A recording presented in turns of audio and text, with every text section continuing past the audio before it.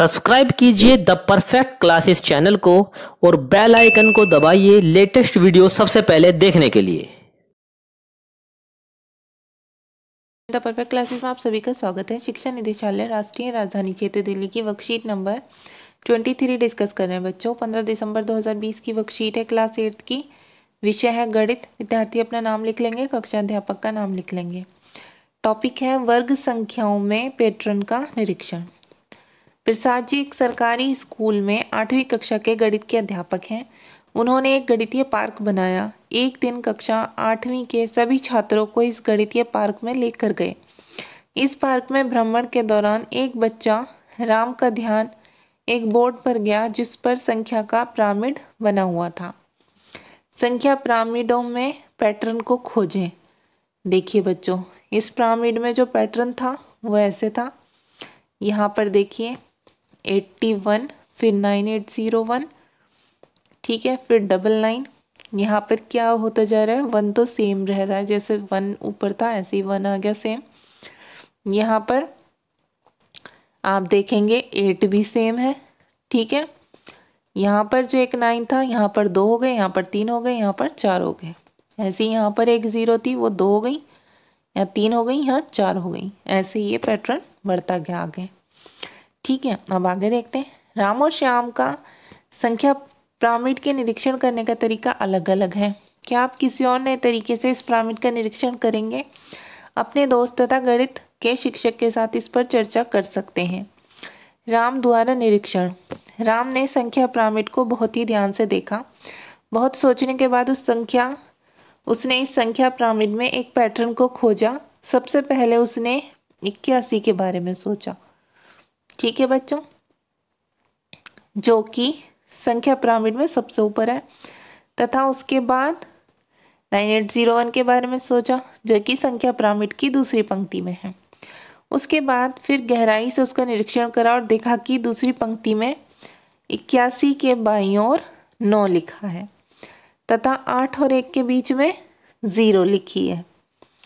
उसके बाद उसने दूसरी और तीसरी पंक्ति का निरीक्षण करा और देखा कि इस पंक्ति में नौ हज़ार आठ सौ एक के बाई और नौ लिखा है, आठ तथा एक के बीच में ज़ीरो लिखी है। इसी प्रकार एक क्रम चला जा रहा है। और श्याम द्वारा निरीक्षण, इसी समय एक दूसरा छात्र श्याम ने भी इसी पिरामिड का निरीक्षण, इस प्रकार किया। ठीक है, नौ का वर्ग, इक्यासी, निन्यानवे का वर्ग, नौ हज़ार आठ सौ एक, फिर नौ सौ निन्यानवे का वर्ग करेंगे तो ये आएगा। फिर इसका करेंगे तो ये, इसका करेंगे तो ये। तो यहाँ पर एक नौ की संख्या बढ़ती जा रही है हर बार, ठीक है? तो ऐसे ही यहाँ भी एक पैटर्न बनता चला जा रहा है। आपने क्या निरीक्षण किया? कृपया लिखिए। तो बच्चों, हम क्या निरीक्षण करेंगे? हम भी वो लिख देंगे। आगे, ठीक है? तो हमने क्या निरीक्षण किया है? हमने भी ये निरीक्षण किया है कि जैसे जैसे संख्याओं का वर्ग यही जो शाम वाला निरीक्षण है, आप यही सेम लिख देना, क्योंकि जैसे जैसे संख्याओं का वर्ग बनता जा रहा है तो उसी के अकॉर्डिंग ये पिरामिड भी बनते जा रहे हैं, ठीक है? तो हमें शाम वाला निरीक्षण समझ आ रहा है। अब आगे देखते हैं। इन वर्ग संख्या में पैटर्न को देखें, तथा बॉक्स में अपना निरीक्षण लिखें, आपके द्वारा निरीक्षण।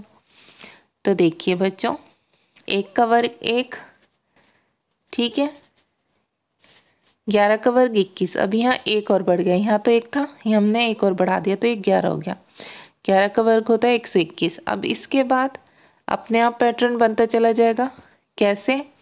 यहाँ एक था, यहाँ ग्यारह था, यहाँ एक सौ ग्यारह कर दीजिए। फिर यहाँ चार बार एक कर दीजिए, फिर यहाँ पाँच बार एक कर दीजिए। ठीक है, ऐसे ही यहाँ भी पैटर्न बनता जाएगा। ठीक है, वन टू वन यहाँ था। मतलब वन और वन के बीच में टू था। तो यहाँ पर क्या होगा? One two three two one क्यों आया ये? देखिए, यहाँ वन था तो यहाँ वन रहेगा दोनों तरफ़। यहाँ टू था, ठीक है? तो वन के इधर टू था तो वन के इधर भी टू हो गया। वापस से यहाँ थ्री आ गया। अब ऐसे ही ये एक पैटर्न बनता चला जाएगा। अब दोनों तरफ़ ऐसे ही रखिए। यहाँ पाँच संख्या हो गई तो अब नीचे वाले में कितनी आएँगी? नीचे वाले में सात आ जाएँगी, दो संख्या और बढ़ जाएँगी, क्योंकि यहाँ वर्ग आ रहे हैं। ठीक है अब यहाँ आ जाएगा एक, दो, तीन, चार, तीन, दो, एक। अब ये ऐसे ही नीचे, एक, दो, तीन, चार, पाँच, चार, तीन, दो, एक। ये आप ऐसा वाला ही पैटर्न लिख लेना यहाँ पर सेम ठीक है, अब पैटर्न को पूरा करना। कैसे पूरा करना है? ये देखिए, हमने कैसे पूरा किया है। तो देखिए बच्चे, ये हमने कैसे पूरा किया है? ग्यारह का वर्ग, एक से इक्कीस होता है। ठीक है अब यहाँ पर आपको कैसे करना है, वो आप देख लीजिए। हमें एक पैटर्न दिखाई दे रहा है, ऊपर वाले से ही जैसे नीचे चल रहा है ना, यहाँ पर ये लिखा हुआ है, यहाँ पर ये संख्या लिखी हुई है। अब हमें ये तीन पैटर्न इसमें तो हमें पैटर्न चेक करने की ज़रूरत नहीं है। यहाँ पर है, यहाँ पर हम जो चेंजेस देख रहे हैं, उसी के अकॉर्डिंग हम आगे भी कर देंगे बच्चों। कैसे कर देंगे, देखो। दाई और बाई तरफ़ एक है और बीच में है दो। ठीक है? फिर यहाँ एक है और दो है, लेकिन दोनों के इधर उधर ज़ीरो भी आ गई। फिर यहाँ पर एक है, दो है, दोनों के दो तरफ़ दो ज़ीरो आ गई। यहाँ पर एक एक ज़ीरो थी। अब हम नेक्स्ट पैटर्न में क्या करेंगे? एक एक लिख देंगे। लिखा हुआ है? दो दिया हुआ है तो दोनों की यहाँ, दोनों के, दो के दाई और बाई तरफ़ दो ज़ीरो थी। तो यहाँ दो के दाई और बाई तरफ़ तीन ज़ीरो आ गई। ऐसे ही यहाँ पर कर देंगे। यहाँ तीन थी तो नीचे चार चार ज़ीरो आ जाएँगी। ठीक है एक एक यहाँ रहेगा सेम और दो यहाँ है ही। ठीक है, ऐसे ये पैटर्न बन गया। अब आगे देखिए। निरीक्षण करें और गणना करें।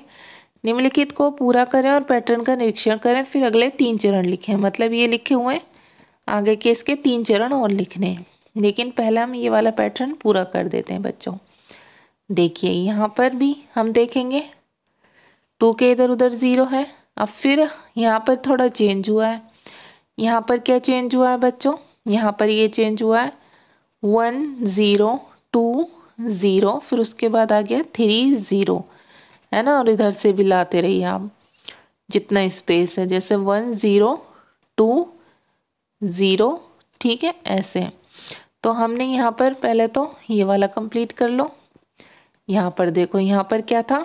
One zero one zero one one zero one zero one zero one तो यहाँ पर भी क्या जाएगा? One zero one zero one zero one zero one का स्क्वायर ठीक है, ऊपर से देख कर हमारा ये पैटर्न हो गया। अब देखिए, यहाँ पर है, यहाँ पर देखिए, दोनों तरफ़ वन, फिर उसके बाद दोनों तरफ़ ज़ीरो, फिर दो, फिर ज़ीरो, फिर तीन। हमें भी ऐसे ही लेके चलना है। दोनों तरफ़ वन, फिर दोनों तरफ़ ज़ीरो।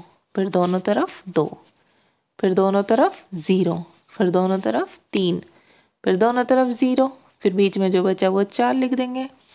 तो ये पैटर्न बन गया हमारा सेम ऊपर वाले की तरह और ऐसे ही ये बना हुआ है नीचे वाला। ठीक है बच्चों तो ये हमने फिल कर दिया। बस आपको पैटर्न कंप्लीट करना है, जैसा बना होता है वैसे ही नीचे। अब ये कर लेते हैं हम आंसर अपना। तो देखिए, यहाँ पर देखिए, सात का वर्ग, उनचास फिर ये दिया हुआ है सड़सठ का वर्ग, इतना आ गया। सड़सठ को हम सड़सठ से मल्टीप्लाई करके देख लेंगे, ठीक है? यहाँ तक तो आप करके देखिए सेकंड तक। फिर आपको पैटर्न थोड़ा समझ में आता है तो फिर आप ऐसे ही करते चले जाइए। जैसे यहाँ पर एक ही सिक्स था, यहाँ हो जाएँगे बच्चों दो सिक्स है ना? यहाँ तक देखो हमें दिया हुआ भी है तो हमें इतना दिमाग लड़ाने की ज़रूरत नहीं है। यहाँ एक सिक्स है, यहाँ दो सिक्स हो जाएँगे, यहाँ तीन सिक्स हो जाएँगे।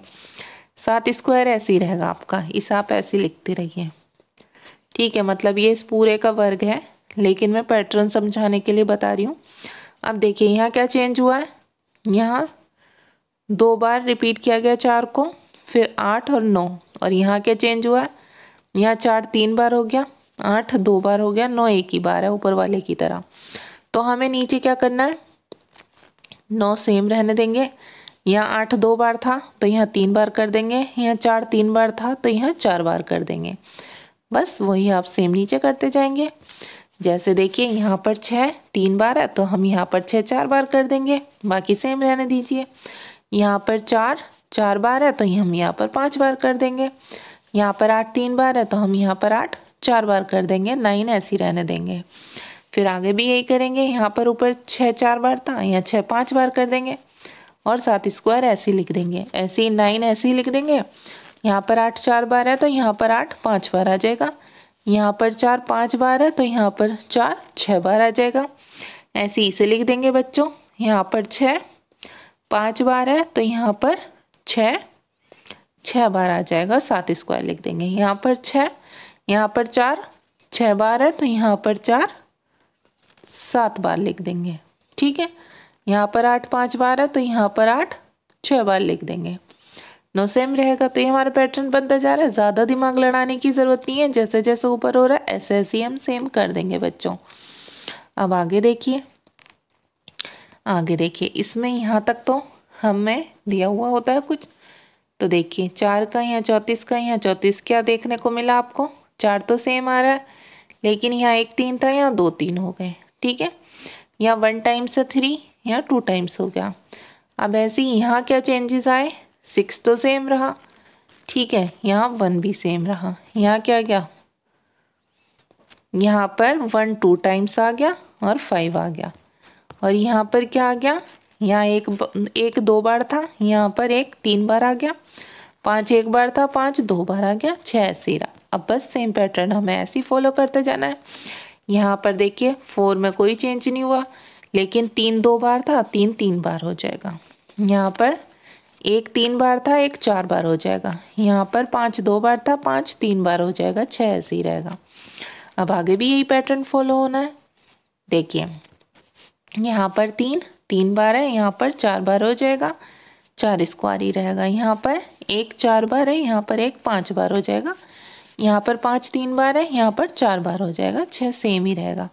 ऐसे ही यहाँ पर भी चार और छः सेम रहेंगे चेंजेस कहाँ होना है? यहाँ पर एक पाँच बार है तो यहाँ छः बार हो जाएगा, यहाँ सात बार हो जाएगा।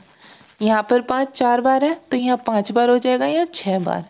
ऐसे यहाँ तीन, चार बार है तो यहाँ पाँच बार हो जाएगा, यहाँ छः बार। तो ये पैटर्न बनता चला गया। ठीक है बच्चों, आपकी वर्कशीट सॉल्व हो गई है। अगर आपको मेरी वीडियो पसंद आई है तो प्लीज़ मेरी वीडियो को लाइक कीजिए शेयर कीजिए। हमारे चैनल को सब्सक्राइब कीजिए। Thanks for watching